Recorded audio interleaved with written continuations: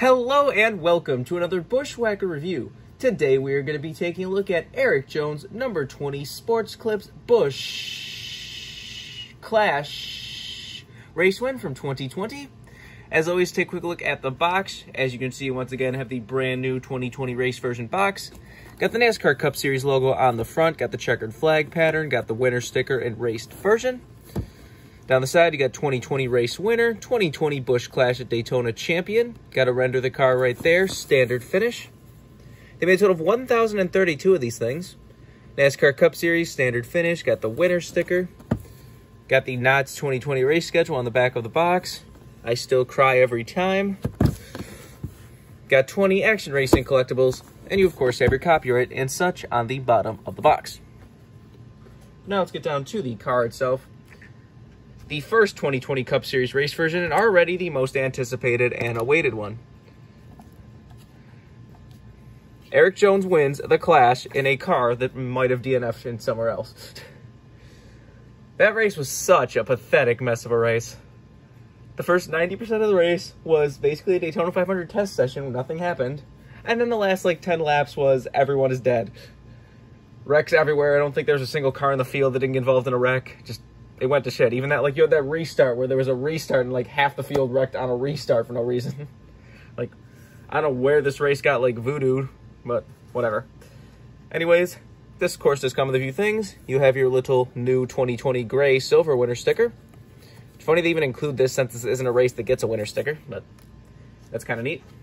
And there, of course, is your race winning stat card, which does have a Lionel air, Apparently, Erik Jones got involved in multiple wrecks and still led every single lap of the race. If that isn't pure domination, I don't know what is. That should be in the Hall of Fame right there. There's the bio on the race if you want to read it. But now let's get down to the car itself. And as you can probably tell already, this car is very, very, very, very damaged. Said he got involved in multiple wrecks. They repaired the car, and then on the last restart, you had Denny Hamlin also with a destroyed car a lap down, pushing him to the victory. So that race will go down in history for all the wrong reasons, but it led to a very unique raced version diecast here. And Lionel did a fantastic job of recreating this. You know, a lot of people are always kind of scared when it comes to, you know, decal damage, but as far as all this tape and stuff on the front, this looks good. Lionel did a very good job of that.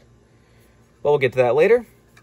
First, let's get down to sponsors. On the hood, you have Sports Clip Haircuts. It would say Toyota Camry XSE and would have a Joe Gibbs Racing logo right there, as well as a 20 right there. Down the side, you have Sports Clips Haircuts. Got Reser's Fine Foods. Front of the rear wheel, you got Interstate Batteries, Mac Tools, Sports Clips, Sherwin-William, Mobil One, Lincoln Welders, Seaman, Emsu, Freightliner, and uh, what's that little like Panther logo? On the C post, you have DeWalt. And on the B post, you have a Toyota logo and JD Gibbs. You, of course, have Erik Jones' name on the name rail. As you can see, this does also have the roof hatch decal. Has your regular contingencies and such. Not much to talk about there. On the back, you have Toyota Camry XSE Sports Clips Haircuts number 20. On the deck lid, you have Help a Hero. And on the roof, you have Sports Clips Haircuts. This is number 950. Said they made over a thousand of them, so this definitely had a high number of Probably the highest an Erik Jones car has ever been produced. Anyways, you got the same stuff down the other side. Let's take a look under the hood. See, it says Mobil One and Toyota under there. There's the engine detail if you want to see that. Obviously, no deck lid. Roof flaps, of course, still do open. And there's the underside of the car if you want to see that. But now let's get down to the part everyone's waiting for, and that is all the damage, because this is probably one of the most damaged race versions we've ever gotten. As I've already shown multiple times, you of course have the front. He got involved in so many wrecks, they taped the hell out of this front, taped the hood down completely. You wouldn't even be able, to open the hood, as you can see right there. It's funny that up here, it looks like even the these little like hood flaps are taped down. I thought you couldn't do that. I thought that was illegal because they're safety devices, so you can't really tape them down ever. I don't know. But that damage looks fantastic. Got like straight up duct tape, got some bear bond, got it all crumpled up, especially in the grill area. I forgot exactly what happened. He, I think he hit somebody where it like crumpled the, you know, down. This was pushed down and then in. But Like I said, Lionel did a fantastic job recreating this with decals. Have to give credit where credit is due. When Lionel really kills something, they do really kill something, and they killed this one. That is amazing. See down the right side, he did hit the wall too, so you have more tape, and you have... Luckily, the Goodyear logo is actually scraped off this time instead of some of these cars where Goodyear's, like, I guess demands they have their logo on top of all the damage. I don't know. You can see very nice damage. Down the side is very scraped up and scuffed up. You see even part of the side skirt is torn back. So that looks fantastic. Scraped down the side with a 20. You see the lettering is rubbed off of the right rear tire. More scrapes and scuffs. Even part of the tail light decal is scraped off right there. The back is basically just pretty dirty. Not a whole lot to talk about there. See the left side, it does have a shredded tire if you didn't notice that earlier. Which the lettering is still perfectly on the left rear tire, so that looks a little bit strange, but... See the left side is pretty clean compared to the right side. Still got some dirt marks and such. And then the top is, again, just dirty. Obviously, this is the Clash, so there's no confetti or anything. Just a beautiful, beautiful race win. I believe this is also the only way to get Erik Jones' Sports Clip car ever. Because most of the Sports Clips cars always DNP for whatever reason. Like, people just really don't like these cars for whatever reason. This year, they even offered Martin Truex Jr. and Kyle Busch's. Because Kyle Busch randomly ran one this year, and those still got DNP'd anyways.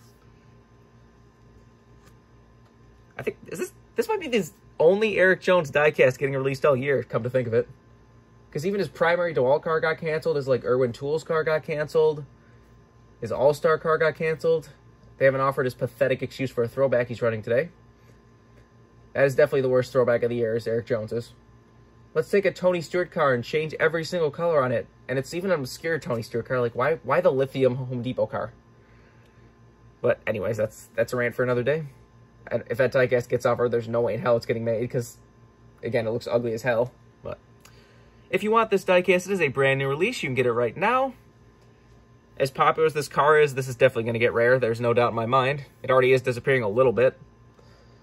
This is one of those that was pretty much immediately sold out the second it got released. If you're lucky and you look around, I think Gibbs might still have a couple for retail, or even Erik Jones' own site might still have a couple for retail, but I'd say I'd get it now if you're looking for this car, because this is not going to be one of those cars that stays around very long. But think it changed all to say, this has been a review of Erik Jones' Sports Clips Busch Clash winner from 2020. Hope you enjoyed, and thanks for watching.